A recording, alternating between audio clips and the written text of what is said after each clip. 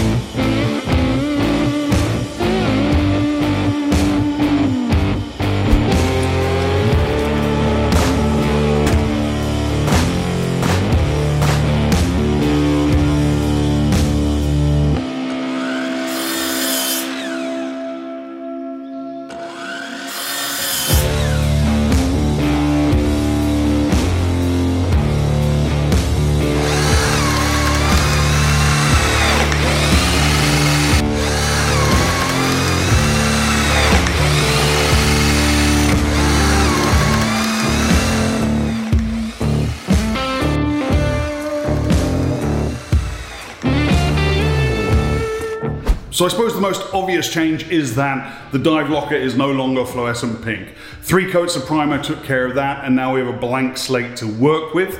Over here I've painted five samples of colors I'm considering. One, two, three, four, five. Let me know in the comments below your preference. Uh, that would help me out a lot. I'm leaning towards one number already, but uh, I greatly value your input. You've been very helpful so far, everyone. Uh, next thing you're going to notice, obviously, is all of this red conduit on the wall. Uh, my buddy Rob, who is also a student of mine and a fellow tech diver, uh, is a master electrician, and he came in, realized that the drywall is stuck right onto the concrete, and that putting any kind of uh, electrical system into the walls was going to be a major pain in the neck. Uh, decided to go with more of a commercial look and put the conduit on the outside. Not all of it is attached to the walls yet because I'm trying to paint behind it and so on, and I've got to do some touch up on the red paint, but apart from that, we have a fully functioning electrical system complete with charging station. Tons and tons of power options, USB plugins, uh, fixtures for lightings, fixtures for security cameras, all that good stuff, plus of course 220 volts for the AC system, which is yet to be put in. We've also put in these dividing walls here. Um, so now the room is very much two rooms. Uh, we have the storage space back here behind the white wall, which you really can't make out in this definition. It's kind of a Stanley Kubrick set right now. Um, but yes, we have a nice storage area, again, plain white, and then we have this side of the wall, the office area. That's where my desk is gonna go if you remember and then the power outlet's a convenient height for plug-in. Standing desk, thank you very much. Continuing the red theme, I have a beautiful first aid kit which is going to be mounted to the wall very soon. I've just got spray paint a white cross on the front of it. And then you're also going to see in this corner the prep has started for the plumbing. So we've got drainage and water coming in. That should be happening this week. This is the sink I picked out, utility cabinet with a uh, Faucet already included, stainless steel sink and a cabinet underneath in red. Happy days. Last but not least, lighting. So we changed out the halogen lights for these bluer, cooler LED lights. And then we've put in two strips of track lighting, one on each side of the room. And these have six LED lights in a warmer Kelvin temperature. Tons of lighting options and they're obviously maneuverable so I can point them at whatever I want to focus on. We've got one over the seat right now, one over each of the workbench station areas, and obviously two pointing down onto my, where my desk will go. and a couple of other features there. Next, I've got to take you guys outside because a lot has been changing in the outside portion, which I really didn't talk about too much in the first video. Ooh, overexposed, overexposed, overexposed. So if you remember before the tenants moved out, I walked up that long driveway there and we've now created this fenced in area. So basically we have a little outside compound here and we're going to start building out some workbenches. Essentially this is going to be kind of a drainage board slash work bench slash drip table. So the idea will be to put a 100 gallon rinse tank plumbed in in this area over here next to the hibiscus bush. And then this bad boy is going to be mounted to the inside of this fence about 42 inches off the deck reinforced by 4x4 uh, footings probably do two shelves top and bottom. This thing is damn heavy. When it's mounted to the wall it's going to need super reinforcement but that's very much my style to over engineer everything. So it's just what it is now what I did do was print out some of the comments and questions from the first Dream Dive Locker video and I figured we'd just go through them together uh, and I could update you. A lot of questions about alcohol, a lot of questions about where does the beer fridge go, where does the Guinness kegerator go, uh, where does the margarita machine go. Uh, thanks Dr. Mac and Rockhead and Shane Scott all commented about my alcohol supply. Don't you worry about that, I got that covered. It's it's it's all in hand. You'll see. I've got a feeling the last video in this series will be the big reveal and and you're going to see some changes. So I'm sure you guys are going to approve. Uh, Brad Scarp said, seems like kind of a small place to teach classes in. You're right, Brad, it would be. If I had eight open water students, it would be pretty damn cramped in there.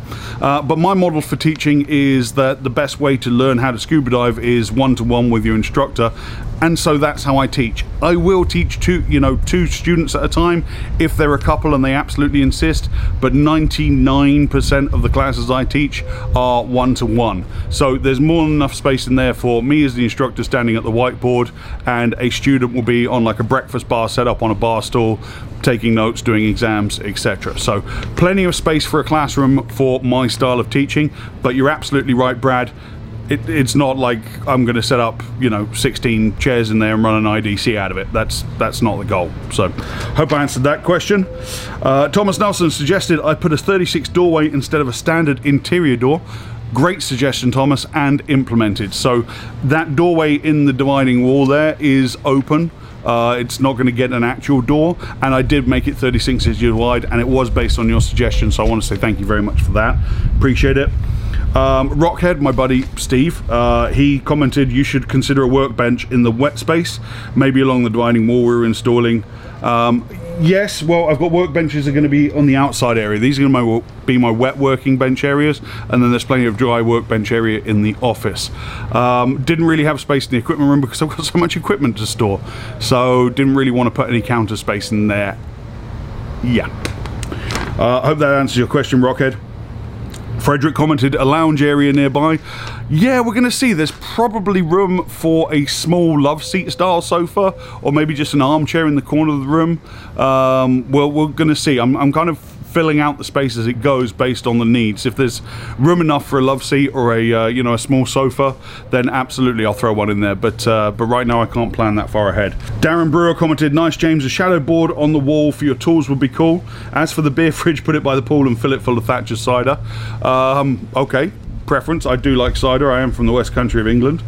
Um, shadow board on the wall for your tools. What I'm thinking of actually, Darren, right now is a slat wall system. So putting a slat wall on the end wall uh, on the equipment storage side and having fixtures there to hang fins and masks, maybe a shelf for computers, etc. Um, as for tools, I've got a pegboard system already picked out for that. Uh, and plus we're going to have lots of drawer space as well. So thank you for that. Um, that side mount guy commented, don't forget to add a smoke detector and tie it into the security system. Would hate for a battery meltdown to damage the greatest dive locker. Absolutely already in process. Uh, thanks that side mount guy. Absolutely that's going to happen. And then Jason Jackman, one of my former uh, students uh, up there in Canada, he commented, don't forget a spot for Ziggy to hang out. Jason, I mean, really, like that's the first consideration. Dog bed, where does the dog bed go? Of course, Ziggy is going to be a major feature. It wouldn't be the world's greatest dive locker if it didn't have a dive pup. The security system has started because we've already put in a smart lock uh, and reinforced the deadbolt system there. Um, you can see over here where the main power for the house is that we've just ran conduit down and underneath. And then the second line of conduit there is for the internet, which I still have to organise getting in here. So let's talk about next steps then. The next thing I need to do is make this space move-in ready. That includes finishing the painting on the walls and prepping the floor. Basically those two things. Plus installing the AC system. AC system is going to happen hopefully this week, if not next week. And as the same with the painting. I've just got to decide on a final color. So if you guys can help me out with that, it would be greatly appreciated. But we need to prep the concrete floor for painting. That involves putting down muriatic acid, scrubbing that around, leaving it sit for a little while and just etching the surface it'll take a paint. And I'm gonna use an elastomeric paint so that it's actually waterproof. Come up to the baseboards with that, so we've got kind of a splash guard in the office but also come up to about waist height in the wet room in the in the dive gear storage room. I haven't fully decided on what shelving system I want yet. I'm looking at how much shelving space I'm using right now and obviously trying to apply room to grow philosophy. Um, but I've got an idea of what I want and, uh, and we're gonna make it happen. Most importantly is I've got enough hanging space so that, that's a load taken off my mind.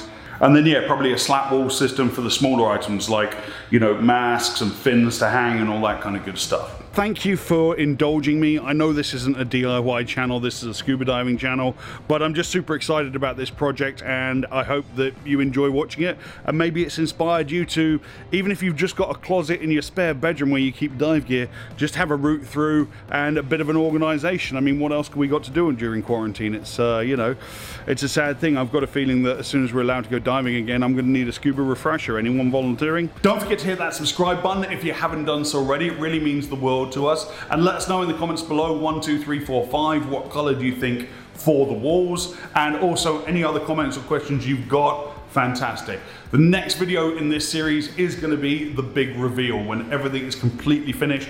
But like I said, be patient for that. It might not be for six weeks or so yet. Until next time, ladies and gentlemen, thank you so much for watching. My name's James. This was your Divers Ready video for this week.